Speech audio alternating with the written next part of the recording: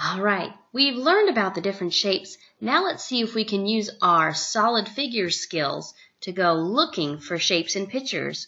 Are you ready to go on a shape hunt with me? I bet you've seen this before. Look closely. All the sides are squares.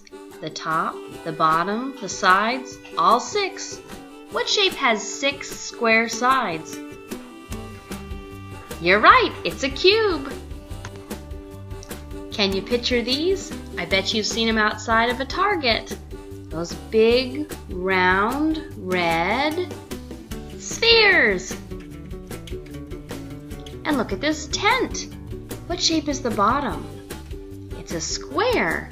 And look at those four sides. What shape are they? They're triangles. Square bottom, four triangle sides. It's a pyramid. These are from an art display in Germany.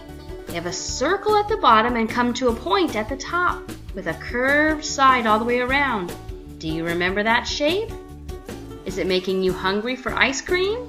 That's right, it's a cone. Take a look at these. These are from Cairo in Egypt. Do you remember this shape? Square bottom, triangle sides.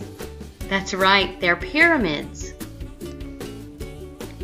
Here's another piece of artwork. It has six square sides. Do you remember it?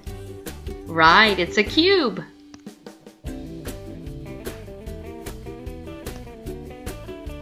Look at this poor cat. He doesn't look very happy about his choice in headwear. Do you know the shape? Circle bottom, curved side, point at the top. That's right, it's a cone. Take a look at this interesting shed. It has a rectangle for a top and a rectangle for a bottom and rectangle sides. It's a rectangular prism. I'd guess a lot of you have these in the cupboard. Circle top, circle bottom, curved side all the way around. Right, it's a cylinder. Aren't these interesting chairs? They have six square sides. Can you guess them? They're cubes. This is one of my favorites. It doesn't have any sides or any edges. Right, a soap bubble is a sphere. And look at this stack of bricks.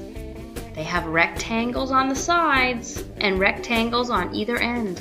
What's the shape? That's right, it's a rectangular prism. Thanks for taking the shape walk with me. Did you find them all? If there's one or two that you've noticed really stump you, write them down.